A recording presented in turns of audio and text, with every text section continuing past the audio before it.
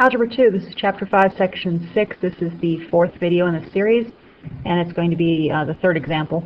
Um, so we want to take the cube root times a cube root and find out what we get. Remember, you can break things apart, so this is actually 5 times the cube root of 10 times the cube root of 10 times the cube root of a times the cube root of a, and that takes care of all of that one. And then times the cube root of 10 and times the cube root of a, and that takes care of this one over here. So now that it's breaking apart, remember cube root, you're looking for groups of 3. So I have my 5, which is just a 5. And then I have a cube root of 10, cube root of 10, cube root of 10. I have three of them. So the cube root of basically, that's the cube root of 10 to the third. And then I'm looking at my a, so I've got cube root of a, cube root of a, cube root of a. So again, that is the cube root of a to the third. From there, I can reduce it, so the 5 is just a 5. The cube root and the cubing basically cancel, so that's times 10. And the cube root and the cube cancel, and that's times a. So final answer would be 5 times 10 is 50, a. So that big monstrosity simplifies down to 50a. So let me look at another one a little bit more complicated. And I'm probably not going to write it out in as much detail. So the 6 is just a 6. So I'll do this side in red.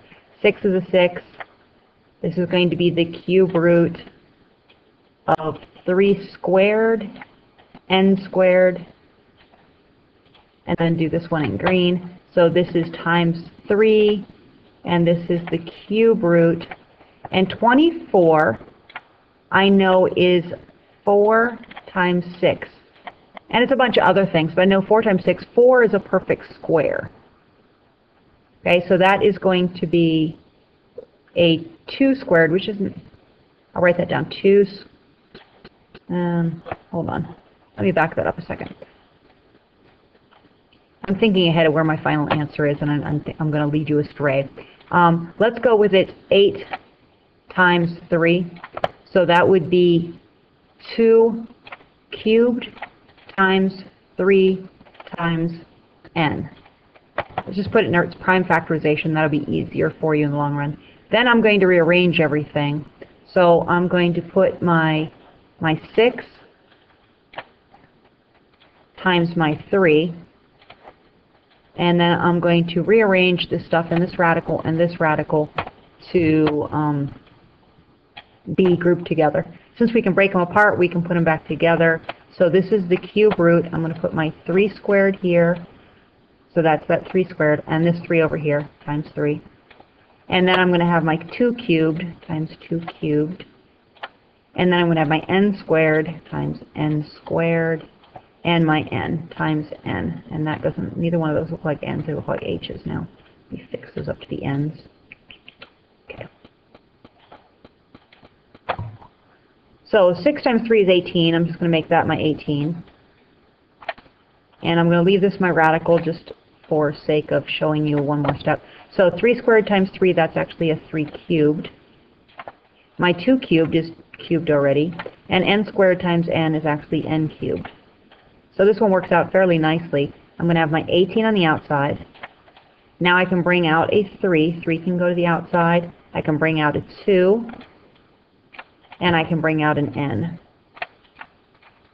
And that gets really big when you multiply 18 times 3 times 2. And 18 times 3 times 2 is actually 108. And the n just hangs along there, so it's 108n, final answer. Okay, let's go through a few more examples of these. I've got two more examples. Um, hopefully by the end of these you understand it completely. So this is a square root, right? So it's got to have groups of 2. Um, so I'm going to rewrite, this is going to be 3 times the square root of, and 12 is 4 times 3, and 4 is 2 squared, so it's going to be a 2 squared times 3. And then I'm going to write this other one times 2, and 21 is 7 times 3. So times 7 times 3. Then I'm going to put it all back together. So I have my 3 times my 2, right? This 3 here times that 2 over here. And I'm going to put my radical. And I've got my 2 squared. I'm going to have 2, 3, so that's 3 squared. And then I'm going to have 7.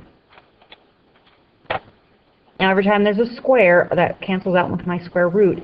So I'm going to put 3 times the 2 and make that a 6. And then I'm going to bring out a 2. I'm going to bring out a 3. And I'm left with my 7 inside. Then I can multiply this stuff outside. 3 times 2 is actually 6. 6 times 6, that's 36. Square roots of 7. And last example.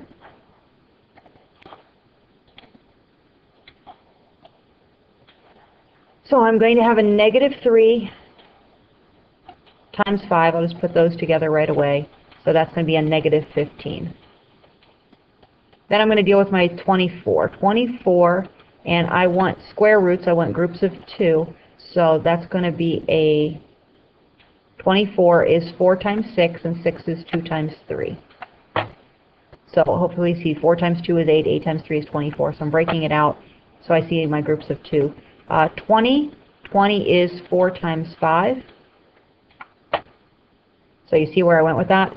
Um, always looking for perfect squares. If I'm doing square roots, perfect cubes, I'm looking for cube roots. So then I can put this um, back here. So that's going to be a 4 squared. This 4 times that 4 times 2 times 3 times 5.